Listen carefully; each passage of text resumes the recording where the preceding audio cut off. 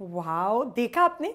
इस hair treatment में तो लगता है रंग बिरंगे प्रोडक्ट्स की एक्सप्रेस लग गई है यहाँ पर। कुछ ऐसी ही रंग बिरंगी है सास बहू और बेटिया में। हमारी फेवरेट सीरियल एक्सप्रेस भी जो फटाफट हमें घुमाएगी। हमारे फेवरेट सीरियल्स के स्टेशन पर चले।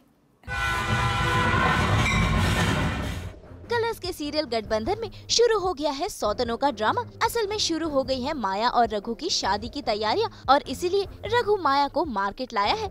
शगुन की चूड़ियों की शॉपिंग करने के लिए और ऐसे में रघु और माया का पीछा कर रही हैं धनक, लेकिन माया धनक को देख लेती है और चूड़ी ना जाने का ड्रामा करने लगती है और धनक को जलाने के लिए माया ऐसा ड्रामा करती है कि रघु को माया के हाथों में चूड़ियाँ पहनानी पड़ती है। नहीं ऑब्वियसली उन्होंने कहा है, गुस्से में कहा है और धनक ने भी बोला है कि ठीक है, अब यही चाहते हैं आप, जो आप बोलेंगे वही होगा, माया के साथ तो शादी होगी। और सच में अब धनक तो शादी करवाएगी। क्योंकि अब अब एक्चुअली उसे टेस्ट करना है कि रघु सच में प्यार करता है या सिर्फ़ अभी तक सिर्फ़ दावे ही किए जा रहे थे तो वहीं दूसरी तरफ़ रघु दिखा रहे हैं अपनी दरिया दिली। असल में रघु की माँ ने रघु को कुछ पैसे दिए थे सामान लाने के लिए, लेकिन रघु ने वो गरीब बच्चों में बांट दिए। ये सब देखकर धनक इमोशनल हो गई और उसे लगता है कि रघु माया के साथ शादी करने का बस ड्रामा कर रहा है।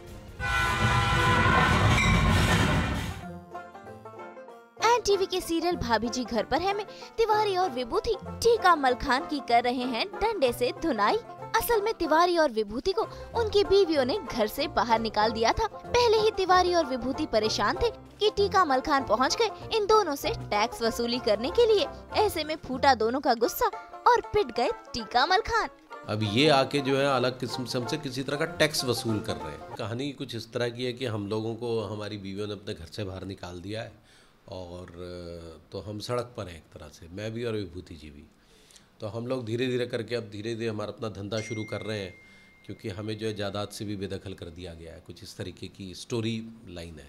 अब ये आके जो है अलग किस्म से हमसे किसी तरह का टैक्स वसूल कर रहे हैं, क्योंकि क्योंकि ये भी कहीं पर लग गए हैं किसी ऑफ़िस ऑफ़िस में।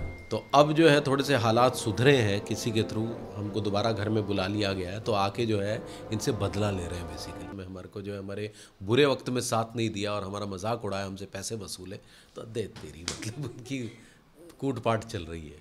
मतलब औरत को खुशी रखा जाए तो ठीक है नाराज़ ना किया जाए क्योंकि एक संत बाबा उनके जीवन में आते हैं वो कहते हैं कि भाई तुमने नाराज़ किया था जिस वजह से उन्होंने तुम्हें घर से बाहर निकाल दिया तो बेहतर यही है कि सुख शांति से रहो।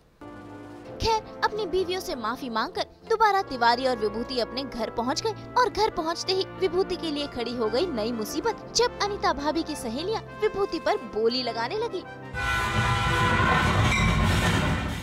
सब टीवी के सीरियल जीजा जी छत पर है में। जीजा जी पंचम बन गए हैं मम्मी।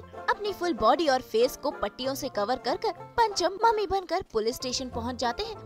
असल में जीजा जी का दोस्त पिंटू हो गया है गिरफ़्तार और उसे छुड़ाने के लिए पंचम ने ये अवतार अपनाया है। दरअसल पिंटू, पंचम और इलायची एक होटल में पकड़े जाते हैं, जिसके बाद पंचम और इलायची तो अपने शादी का सर्टिफिकेट दिखाकर रिहा हो जाते हैं, लेकिन फंस जाते हैं पिंटू। और ऐसे में भेस बदल कर पंचम पहुँचते हैं पुलिस स्टेशन पिंटू को बचाने के लिए।